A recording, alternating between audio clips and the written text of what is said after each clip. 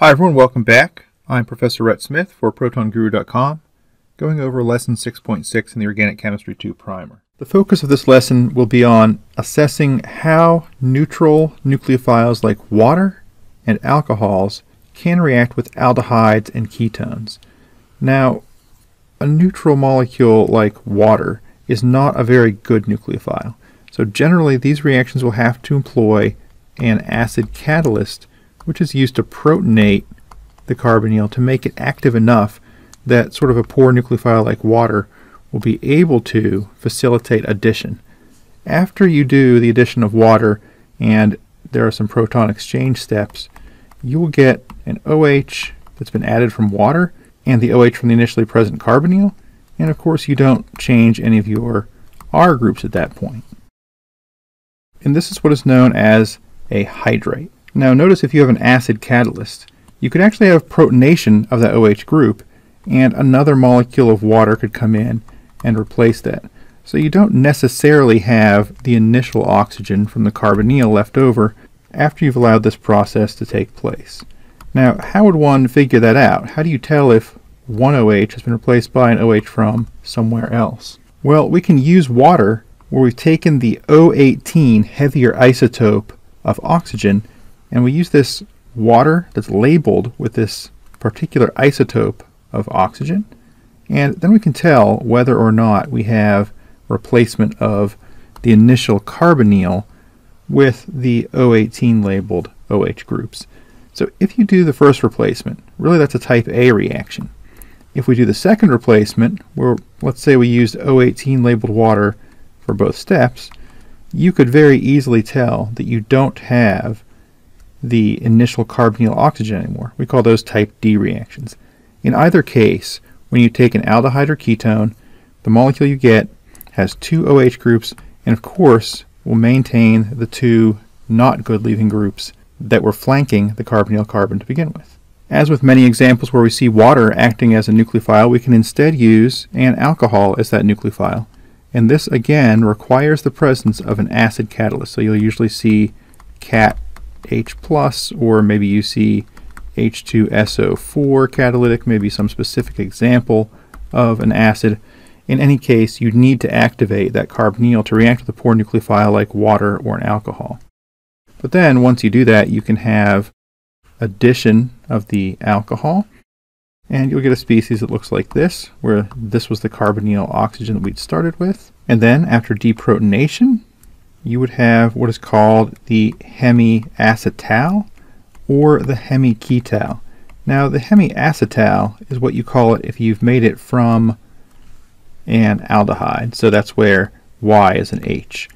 It's called a hemiketal if you've made this from a ketone, where you have some carbon-based R group there instead. The thing about these acetals and ketals is that if there's a little bit of acid around, you can protonate that OH group and make it into a good leaving group. This is not especially surprising because we learned about alcohols before. If I have an alcohol, several of the reactions we learned started with the reaction of the alcohol with a strong acid like HBr or sulfuric acid to protonate that OH to make it into a H2O unit that can act as a good leaving group. So if we have some acid around, when we have a hemiacetal or hemiketal, it will protonate the OH group just like we saw way back in lesson 2.11 for the reaction of alcohols in this way. Now, the fact that we have this other OR group on here already means that once we make this positively charged oxygen, it's relatively easy to push this off. We don't need an external reactant to do this. So the water comes off, and we're left with the R double prime and the Y group of course still on the carbon. And then this OR group at the bottom is now doubly bound with its R group still. But that oxygen is not especially stable anymore because you have a positive charge. So, what happens? You've got this hemiketal or hemiacetal. Well, what else is floating around the solution? If we're making a hemiacetal or hemiketal, we've added alcohol. So what will happen is that a second molecule of the alcohol will be attracted very strongly to that carbon in box B. So the arrow pushing will be just like the other nucleophilic attacks on a carbonyl type carbon, C double bond O, you get this species. And this is sort of the alcohol I drew in in red. Now, this B, this base, it could be another molecule of water or anything that's a proton acceptor to pull the proton off. And now the net result is we've added two OR groups in place of what used to be the carbonyl carbon attached to that carbon group. That means this overall reaction is a type D reaction. I hope you remember from lesson 6.3 the type D reaction is any reaction in my sort of nomenclature about this where you remove the carbonyl oxygen. And every one of these steps is reversible. So I want to point out something you can write in the notes panel of the slides for this lesson. Any reversible reaction that can reach equilibrium is subject to what we call Le Chatelier's principle. Here we need an acid catalyst to facilitate pushing these OR groups or the OH groups on and off of the compound. Let's say I want to push my reaction as far to the right side of the equilibrium as possible.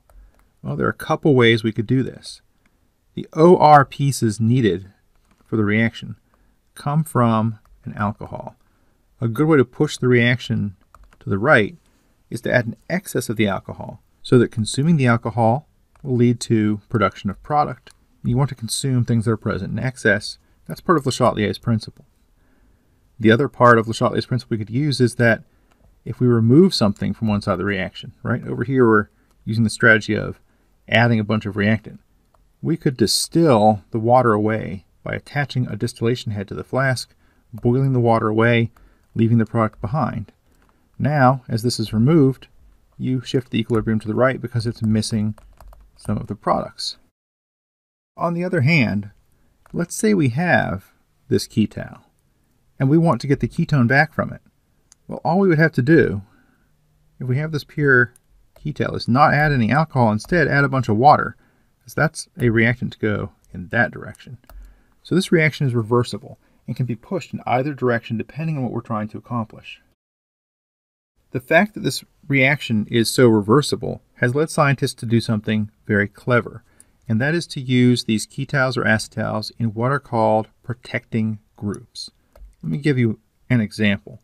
Let's say you're a scientist and you want to do a nucleophilic attack, say an SN2 reaction, and have a nucleophile attack and push this bromine off, and you want that product. If you also have a carbonyl in this molecule, it's a pretty common situation. Well, we just went through a lot of trouble to talk about how nucleophiles love to attack carbonyl carbons. So now your nucleophile sitting there, it's probably going to do whichever one of these reactions it happens to come closest to first. If it comes closest to this carbon over here, probably start the SN2. If it happens to come close to this carbon, oh, it's going to say, well, I'm attracted to that carbon. I'm going to do that reaction. How do you get one specific reaction of two possible reactions that could take place like that? One possibility is to do a reaction that only one of these two groups is capable of accomplishing. So if I take this alcohol, I've got two alcohols here, and I know I can put two alcohols on the carbonyl carbon. So this is going to attack, something's going to happen. Later, the second alcohol can also attack, and what we'll get is the ketal. So here's where the double bond O was. Here's the bromine. This is the, the reacts with the OH group. First alcohol goes on. Second alcohol is hanging out right here. Right in the previous page we had OR, OR, and they both attached. Here the two alcohols happen to be attached to each other as well. But by making this ketal in this way, and I should mention that using this alcohol it's called ethylene glycol is very, very common for ketal formation on organic chemistry exams as well as in real life labs. So whatever your goal is, it's worth noting.